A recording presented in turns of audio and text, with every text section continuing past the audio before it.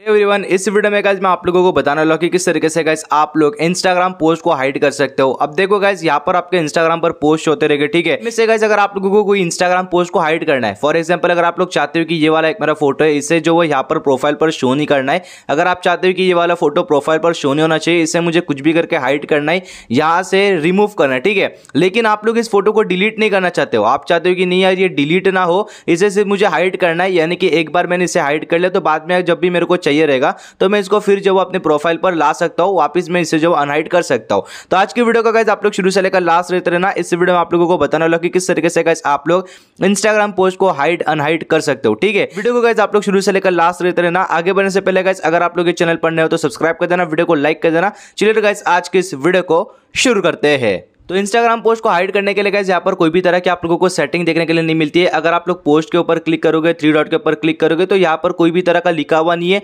Hide Instagram post ठीक है? तो किस तरीके से आप लोग इंस्टाग्राम पोस्ट को हाइड कर सकते हो? ठीक है, यहाँ से आप लोग जो इसे हटा सकते हो यहाँ से आप लोग किस तरीके से जो रिमूव कर सकते हो, आज की वीडियो में आप लोगों को बताने वाला ठीक है? तो क्या करना होगा सिंपल सा आप लोगों को इस पोस्ट के ऊपर जाना है, जो भी फ़ोटो को आप लोगों को हाइड करना है, उसके ऊपर सिंपल सा जाना है। मैं यहाँ पर जा रहा हूँ, ये वाली फ़ोटो के ऊपर एंड अगर आप लोगों को इसे हाइड करना है तो सिंपल सा इस थ्री डॉट के ऊपर क्लिक करना है. एंड सिंपल से गाइज़ आप लोगों को यहाँ पर आर्काइव के ऊपर क्लिक करना है, ठीक है? जैसे आप लोग जो आर्काइव के ऊपर क्लिक करोगे, यहाँ से गाइज़ आपके इंस्टाग्राम पोस्ट जो रिमूव हो जाएगी. आप लोग यहाँ से देख सकते हो, वो पोस्ट रिमूव हो चुकी है, ठीक है? एंड अगर आप लोगों को इसे फिर से अनहाइड करना है, अब यहाँ से आप लोगों ने हाइड तो कर लिया अब ये किसी को शो नहीं होगी यहाँ पर पोस्ट लेकिन अगर फ्यूचर में आपका कभी माइंड चेंज होता है, अगर आप सोचते हो कि यार नहीं, मुझे फिर जो वो पोस्ट को लाने प्रोफ़ाइल पर तो उसे आप लोग जो अनहाइड किस तरीके से कर सकते हो, वो भी आप लोगों को बता देता हूँ, ठीक है? तो अनहाइड करने के लिए सिंपल से आप लोगों को यहाँ पर थ्री लाइन के ऊपर क्लिक करना है। एंड यहाँ पर गाइज़ आप लोगों को आर्काइव के ऊपर क्लिक करना है, ठीक है? देन गाइज़ आप लोगों को यहाँ पर पोस्ट आर्काइव आएगा, ठीक है? यहाँ पर अगर आपका स्टोरी आर्काइव आता है तो पोस्ट आर्काइव के ऊपर क्लिक करना है।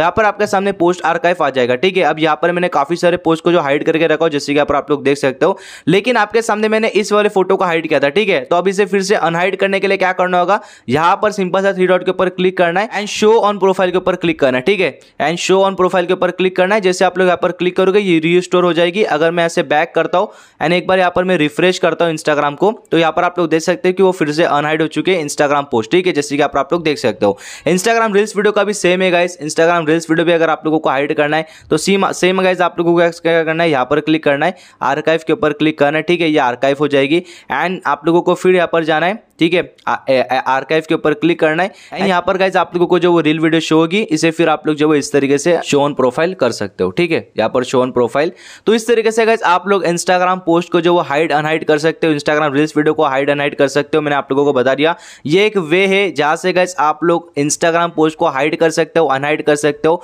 तो उम्मीद करता हूँ गाइज़ कि आप लोगों को वीडियो अच्छा लगा होगा। अगर आप लोगों को वीडियो अच्छा लगा तो इस वीडियो को एक लाइक कर देना। चैनल पर नए हो तो सब्सक्राइब कर देना। मिलता हूँ मैं किसी एक और वीडियो के साथ में। तब तक के लिए बाय Take care.